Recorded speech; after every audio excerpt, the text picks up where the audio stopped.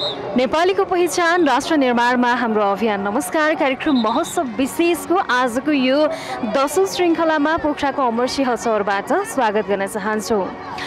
युवाहरूको जागर राष्ट्र निर्माणको आधार शिक्षा स्वास्थ्य खेलकुद र पर्यटन प्रवर्धन गर्ने उद्देश्यले स्थापना भएको युनाइटेड क्लबले प्रत्येक वर्ष महोत्सवको आयोजना गर्दै आएको छ र यस वर्ष बाह्रौँ संस्करणको पोखरा महोत्सवको आज दसौँ दिन हो। दसौँ दिनसम्म आइपुग्दाखेरि दर्शकहरू अत्याधिक आउनुभएको छ आज।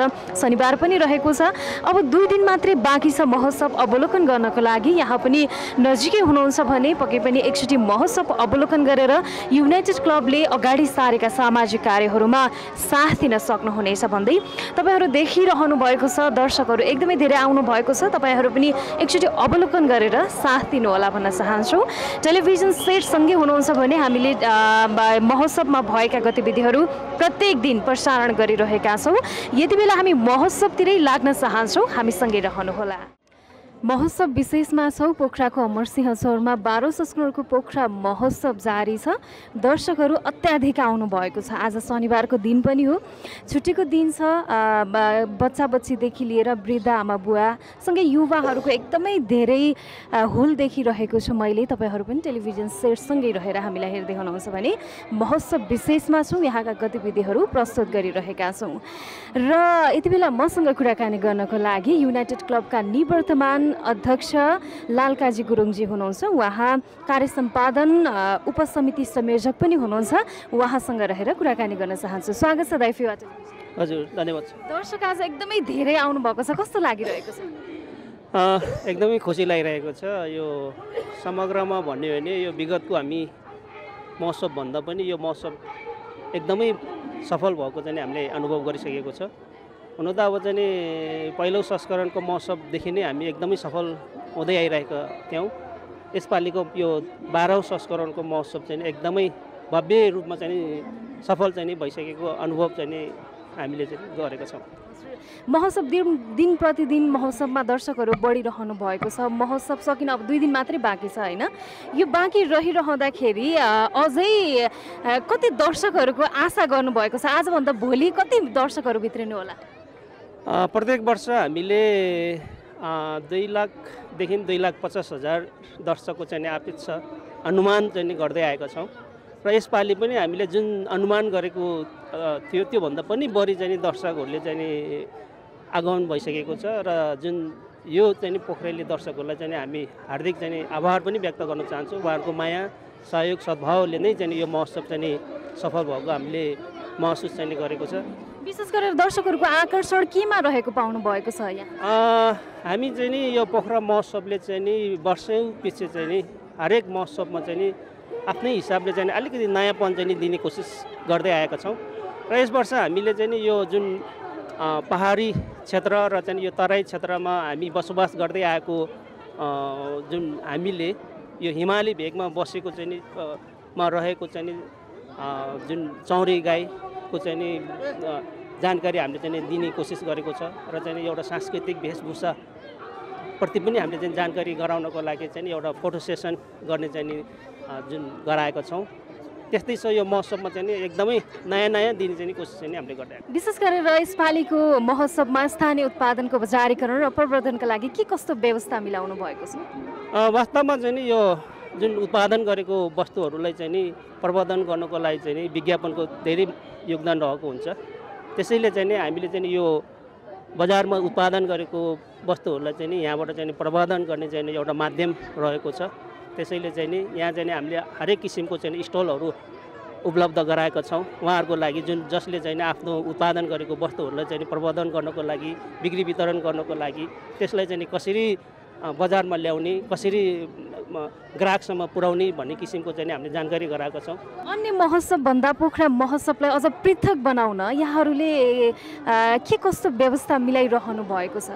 यो महोत्सव चाहिँ नि हरेक क्षेत्रबाट चाहिँ एकदमै सुविधायुक्त महोत्सव बनेको छ। अब तपाईँहरू चाहिँ नि ढुक्क भएर महोत्सव हेर्न आउन सक्नुहुन्छ। सुविधाको हिसाबले भनौँ अथवा चाहिँ सुरक्षाको हिसाबले हरेक किसिमले चाहिँ यो महोत्सवलाई चाहिँ हामीले तपाईँको चाहिँ नि यो महोत्सवभित्र छिर्न साथ सबै किसिमको चाहिँ नि जीव धन सबैको सुरक्षा चाहिँ नि दिनको लागि हामीले चाहिँ नि प्रत्येक ठाउँमा चाहिँ सुरक्षा अनि पछि इन्सुरेन्स त्यो हिसाबले चाहिँ नि गरेको हुनाले चाहिँ नि जस जस यो महोत्सवमा तपाईँहरू चाहिँ ढुक्क भएर चाहिँ आउनु भए हुन्छ।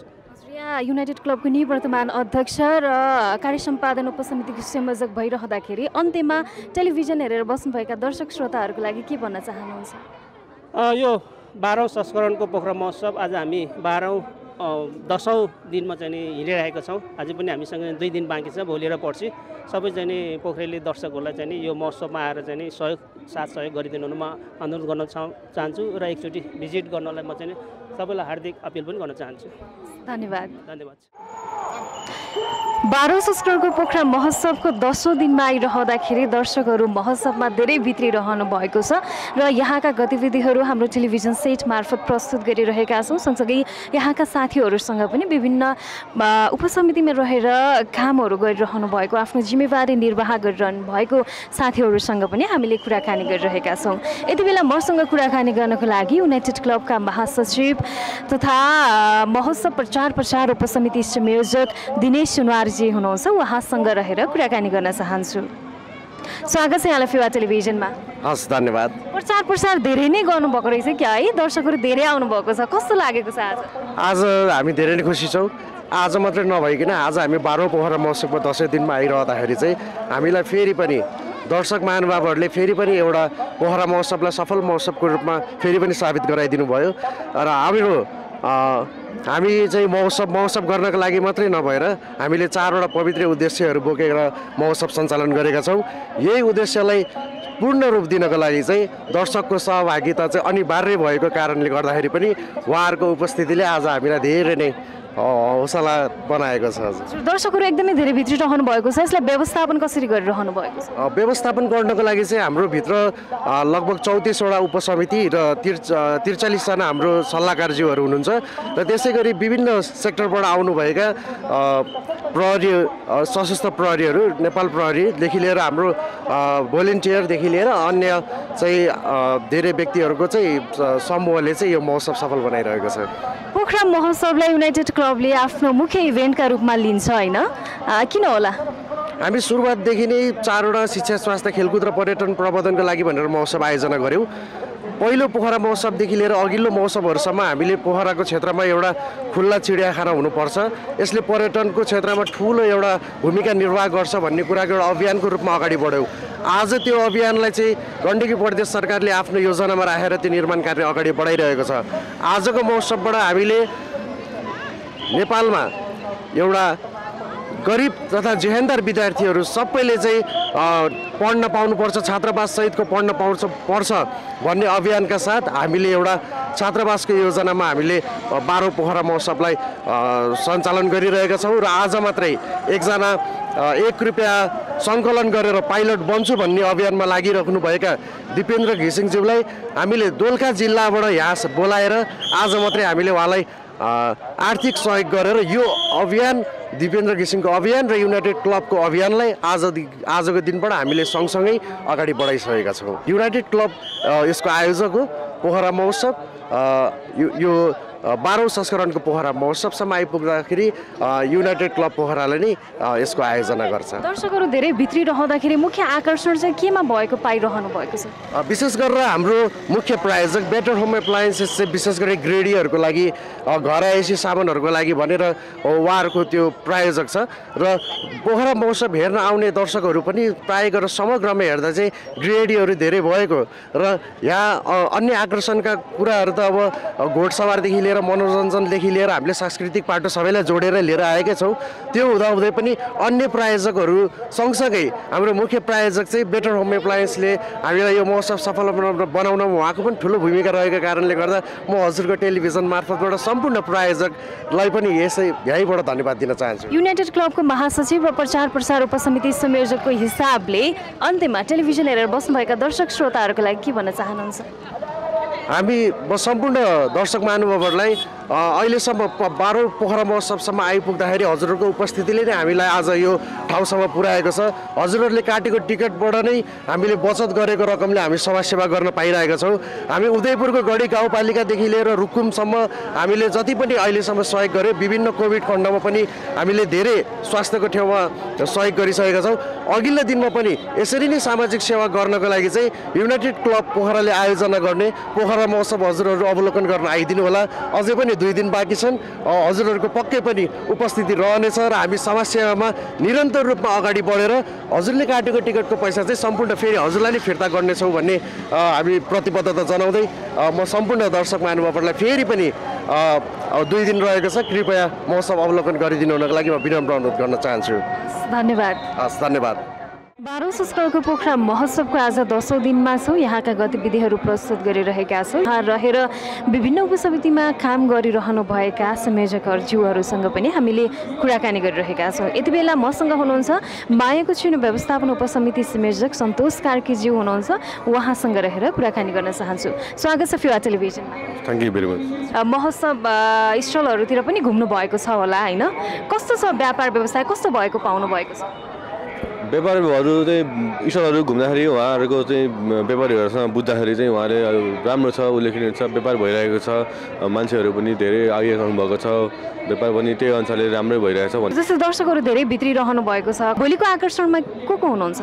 भोलिको आकर्षणमा तपाईँको दिउँसोलाई ज्योति मगर चाहिँ हुनुहुन्छ। गरी उसमा अनि बेलुका चाहिँ के अरे सुगम पोखरेल हुनुहुन्छ प्रत्येक दिन महोत्सव भइरहँदाखेरि अब महोत्सव हुन जम्मा दुई दिन मात्रै बाँकी छ। यो दस दिनलाई निहाल्दाखेरि कस्तो भएको पाउनुभयो? समग्रहरू दस दिनलाई निहाल्दाखेरि हाम्रो चाहिँ महोत्सवमा चाहिँ धेरै धेरै दर्शकहरूले धेरै पोखरेलीहरूले पोखरादेखि बाहिरबाट पनि अलिक टाढा टाढा घुम्न आउनेहरूले यसो महोत्सव अवलोकन गरिदिउँ भनेर चाहिँ धेरै मान्छेहरू आइ आइरहेको हामीले पाइरहेका छौँ।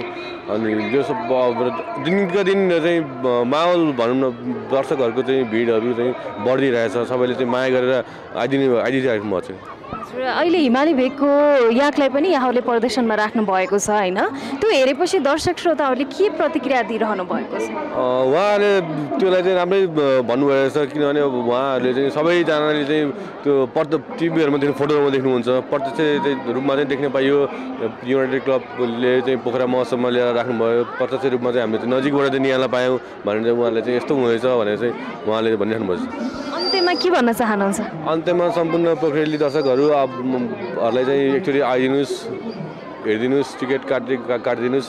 टिकट काटेको पैसाहरू चाहिँ बाहिर कतै जाँदैन समाजसेवामा खर्च हुन्छ हाम्रो। शिक्षा स्वास्थ्य प्रवर्धन स- शिक्षा स्वास्थ्य पर्यटन प्रवर्धनमा सबैमा खर्च हुन्छ। गरिरहेको छौँ हामीले। अनि यहाँहरूको चाहिँ यहाँहरूले अ, टिकट काटेर आएको पैसाले स्पोन्सरहरूले चाहिँ दिएको स्पोन्सरसिपले गर्दा नै हामी अहिले यहाँसम्म आइपुगेका छौँ र हामीले पनि त्यही अनुसारले हामीले सहयोग गरिरहेको छौँ। हाम्रो मात्रै सहयोग होइन यहाँ सबैकोले सबैको हातेमालो गरेर चाहिँ सहयोग गर्ने वातावरण हजुरहरूले बनाइदिनु भएकोमा उहाँहरूलाई पनि धन्यवाद दिन चाहन्छु। धन्यवाद। हस् थ्याङ्क यू